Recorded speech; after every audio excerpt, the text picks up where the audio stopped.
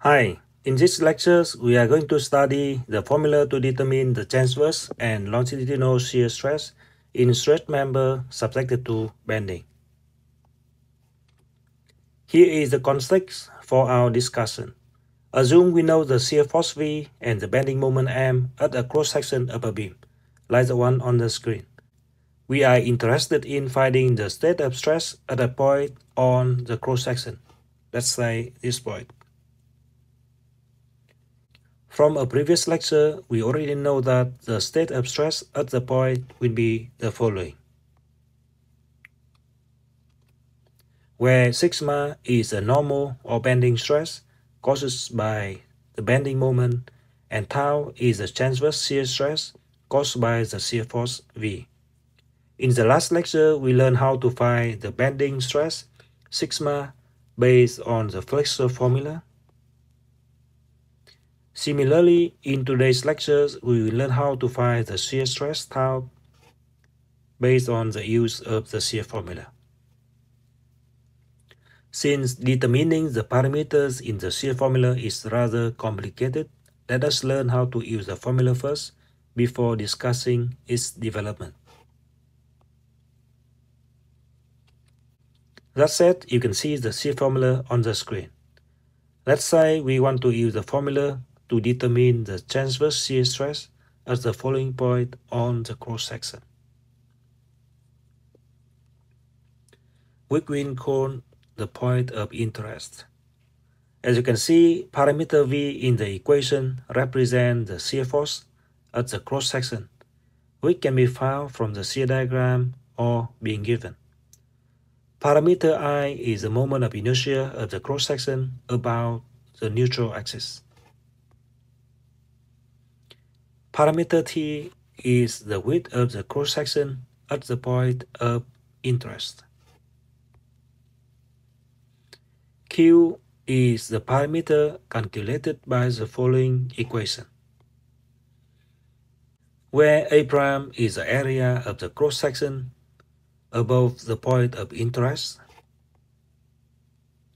and Y bar prime is the distance from the centroid of area A prime to the neutral axis.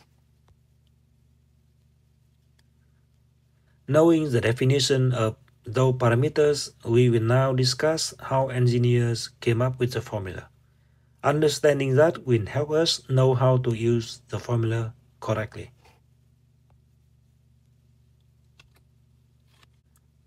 Again, here is the problem statement.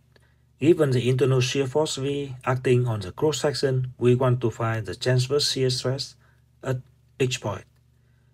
I believe here will be the equation that you might come up with based on the assumption of a uniform shear stress distribution.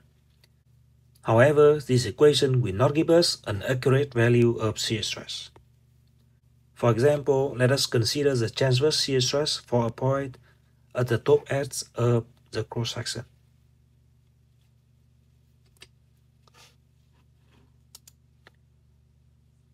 Since we do not have any material on the top surface of the element, the shear stress on that surface must be zero.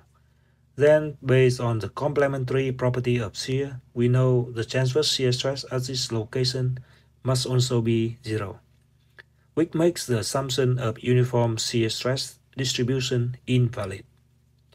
This tells us that we need to develop a more accurate formula for determining shear stress. For that, let us look again at the problem statement. We need to determine the shear stress at any point on a cross-section of the beam given the internal shear force, the internal bending moment, and the dimension of the cross-section. Since we do not have any idea how to proceed from this perspective, except the one we just discussed, let us have a side view of a differential length element of the beam. You can see that here is the stress that we need to find, which is called the transverse shear stress.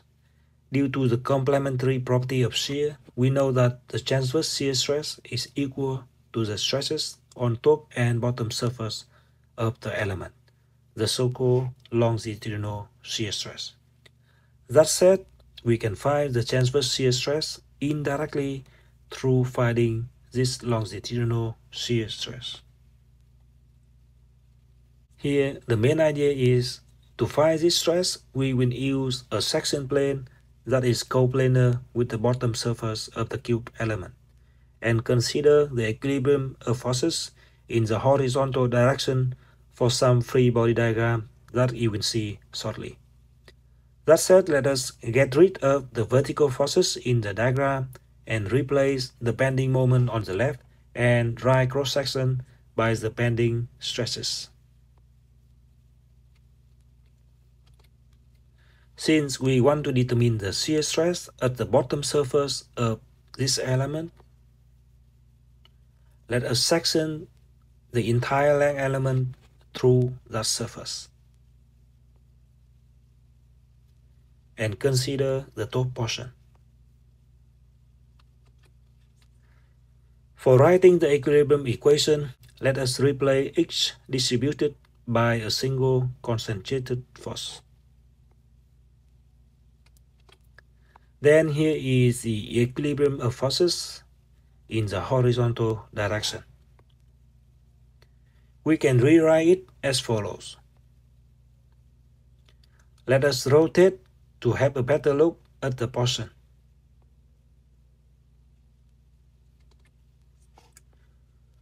With this, you can see the area A prime that we mentioned earlier in the shear formula. Now assume the longitudinal shear stress is distributed uniformly over the bottom surface of the portion. The force F tau will be calculated by multiplying the stress we are trying to find with the bottom area of the portion. Next, let us find the equation to calculate the force F sigma.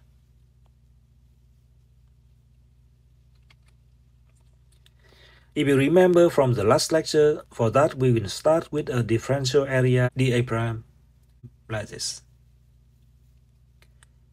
Determine the force caused by the normal or bending stress on the area and integrate it over area A prime. In the same manner, we can write the equation for finding the force F sigma prime. Then let us plug this equation into the second one from the top. Rewrite it. Rewrite it again. And keep in mind that the derivative of the bending moment m is equal to the shear force V, then we will obtain the following equation where as you can see, Q is the first moment of area A prime about the neutral axis.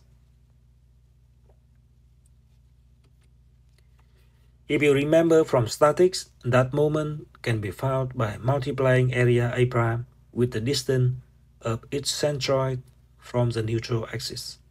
In other words, we can rewrite this equation to be the following. Which is nothing but the shear formula we discussed earlier. Now, having understood the development of the shear formula, let us discuss how to find its parameters for different scenarios. Starting with the most basic rectangular cross-section. Let's say we need to find the transverse shear stress for a point, point P then parameter t in the shear formula will be the width of the rectangle. Here will be area A prime and y bar prime to determine parameter q. The next in our list is the I-beam as shown on the screen.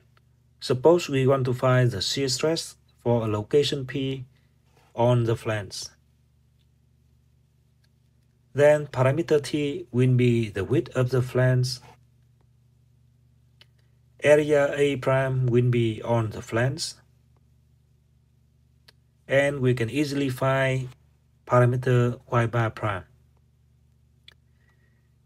However, if we have to find the shear stress for a point on the web of the beam, then parameter t will be the width of the web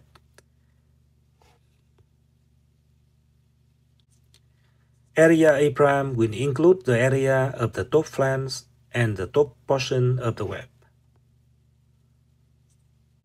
In this case, we will have to use the weighted average method to find the centroid of A prime for determining parameter Y bar prime. Please review statics in case you forgot how to find the centroid for a composite area.